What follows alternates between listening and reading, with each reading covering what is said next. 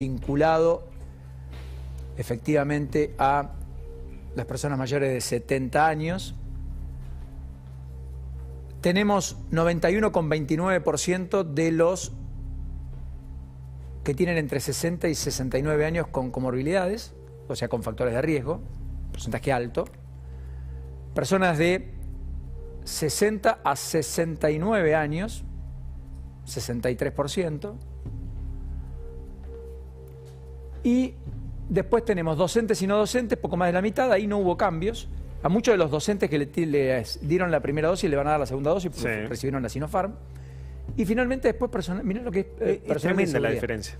Menos del 28%, solo, solo 31.000, 80.000, 890 no. Claro. O sea, menos del 28%. ¡Wow! Es, tremenda la diferencia porque cuando venís eh, remarcándolo, venimos con buenos porcentajes. Vos empezaste arriba del 90, después pasaste al 80, al 70 y después caes al menos del 30. Cuerpo que tuvo 50.000 contagios, 60 muertes en un año. ¿Qué otros datos, Lourdes, pueden ilustrar todo esto que estamos contando en términos de la policía? A ver, el conflicto de la policía, Paulino, perdón porque estaba con un último momento que estoy por dar, pero eh, el conflicto de la policía viene desde el año pasado. Ellos, acordate lo que pasó con Kisilov. Pero por otro lado, Paulino, eh, este año empezaron a contar que tenían un montón de, inconvenientes de la gente que está en la calle. Ahí tenemos una placa. Ahí está Tienen un promedio de 15 muertos al año por enfrentamientos y este año esa suma se quintuplicó. O sea, es, esto es tremendo lo que estamos leyendo en la placa. El promedio es de 15 muertos pero se quintuplicó este año fruto de la pandemia, 50.000 contagiados y cerca de 60 fallecidos por año, 31.324 los vacunados, como habíamos dicho. Esto es lo que está pasando como radiografía en la policía bonaerense. Que son 96.000 efectivos aproximadamente. Luis Tonil es presidente de la Defensoría Policial. Yo nunca supe si tenía estatus jurídico válido o no. Luis, ¿cómo le va? ¿Qué dice primero? ¿Cómo está? Buenas tardes. ¿Qué tal, Paulina? Buenas tardes, ¿cómo estás? Sí, tenemos estatus jurídico nacional y provincial. Bueno, eh, ustedes están pidiendo la emergencia en eh, materia de seguridad, quiero decir, que les den rápidamente la vacuna y si no están amenazando con medidas de fuerza otra vez para el día de mañana o me equivoco. Mirá, Paulino, la situación en la policía de la provincia de Buenos Aires es muy grave. la familia policial está muy enojada, muy dolida porque estamos en una situación de desamparo total. Esas cifras que vos estás mostrando, que son cifras oficiales de la provincia de Buenos Aires, son sumamente engañosas porque no son verdad. Vos fíjate que estás ahí sumando cerca de 105.000, 110.000 efectivos policiales, cuando en la calle solamente en este momento hay eh, 85.000, y si le restamos los 500, las 500 familias, los 500 compañeros que están desafectados de, por los sucesos de septiembre del año pasado, estamos hablando de que son menos todavía, y tenemos... Eh, casi 60 fallecidos, son cifras extraoficiales porque la última carga que tiene el Ministerio de Seguridad es a octubre del año pasado, pero esa cifra que vos estás mostrando, que dice el, gobierno de la provincia de Buenos Aires, que policías que se vacunaron, no son reales para la gente que está en actividad. La gente que está trabajando en la calle tiene un porcentaje de menor al 4% de vacunación. Perdón, Luis. La cifra que vos estás Sí, porque la cifra que yo muestro es la que la provincia dice y habla de personas vinculadas al área de seguridad, entre las cuales tenemos los efectivos que están efectivamente en la calle y otros.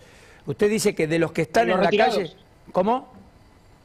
Eh, las cifras que aumentan ahí el porcentaje de vacunación son personal retirado, son las personas que por su edad se anotaron y se vacunaron, pero son personas que están en retiro activo, jubilados y que no están prestando servicios en policía.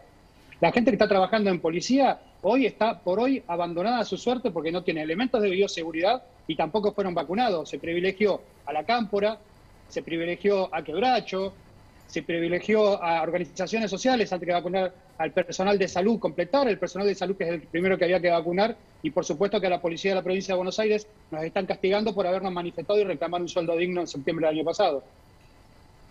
Impresionante, Luis, porque han hecho el esfuerzo, le han puesto el cuerpo, han estado en la primera línea de fuego también, nunca dejaron de trabajar, obviamente, eh, y la verdad es que asombra. ¿Qué cree que ocurre al propósito de esto? Porque uno ve en otros segmentos donde el ritmo de vacunación, más allá del letargo respecto a las previsiones, ha tomado cierta velocidad, pero en la policía no. ¿Cree que es una tarea ideológica del gobernador? Eh, no sé si es una cuestión ideológica, porque eh, no creo que sean eh, tan desordenados como para dejar a, la población sin seguridad. Sí que puede llegar a ser una cuestión de reprimenda por la manifestación que hicimos el año pasado, por la cual en este momento tenemos 500 familias con sumas necesidades económicas, porque esas 500 familias de los que fueron desafectados hoy están comiendo por cáritas y por colectas de los compañeros que están haciendo en distintos comedores en distintos lugares de la provincia. Bahía Blanca en este momento está juntando eh, alimentos para poder alimentarse esas, esas 500 familias. Y no te hablo de policías, te hablo de familias porque atrás de cada uno de esos policías hay chicos hay padres, hay hermanos, hay familias que están padeciendo esa situación económica por culpa de un capricho administrativo de la provincia de Buenos Aires. Y la vacuna nosotros entendemos que es producto también de lo mismo. ¿Conoce a Miguel Ángel Reynoso? Sí, sí lo conozco.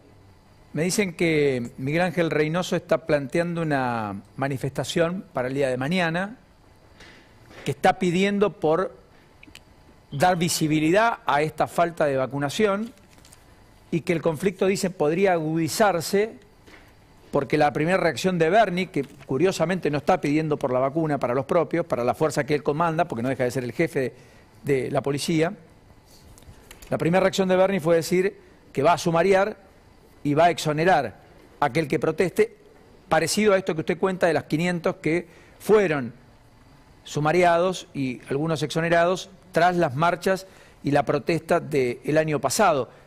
Esto es un clima que yo hasta hoy desconocía. Así están las cosas en la Policía de la Provincia de Buenos Aires en medio de las restricciones, los controles y la pandemia en su pico máximo. No, Paulino, la situación es mucho más grave todavía. ¿Más grave? la situación, sí, totalmente, porque la situación de inseguridad en la provincia de Buenos Aires que palpan los vecinos, los ciudadanos de la provincia de Buenos Aires, es desgarradora. No solamente los policías estamos padeciendo en este momento los altos grados de inseguridad por los delincuentes que soltaron eh, eh, procesados y hasta condenados de las unidades carcelarias el año pasado y se siguen soltando en, este, estos últimos tiempos.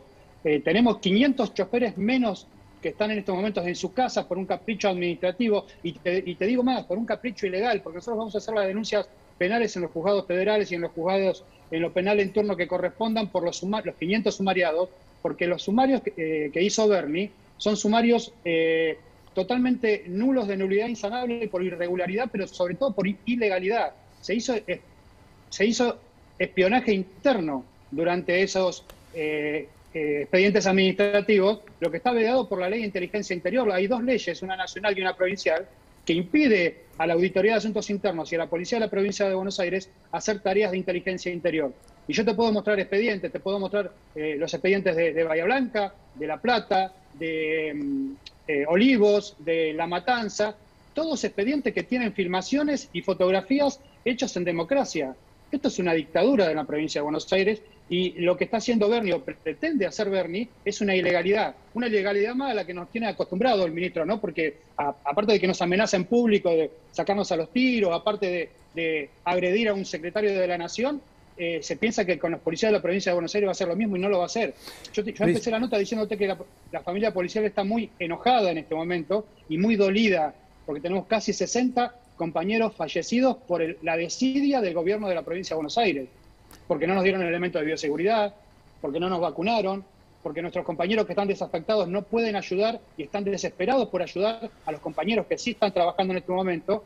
Y te cito ejemplos concretos eh, mandado si podés un móvil a la comisaría eh, Lomas de Zamora Segunda en este momento, Banfield, hay dos efectivos, tres efectivos policiales solamente para cuidar a 20 detenidos y el resto están todos contagiados por COVID, incluido el titular.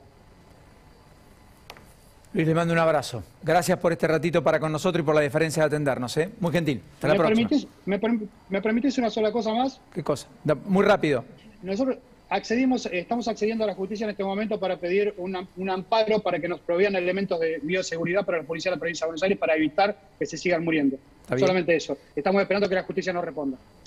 Bueno, que las autoridades competentes en todo caso agilicen y no esperemos ni siquiera el fallo de la justicia. Le mando un abrazo. Gracias, Luis. Muy gentil. Gracias, Pablo.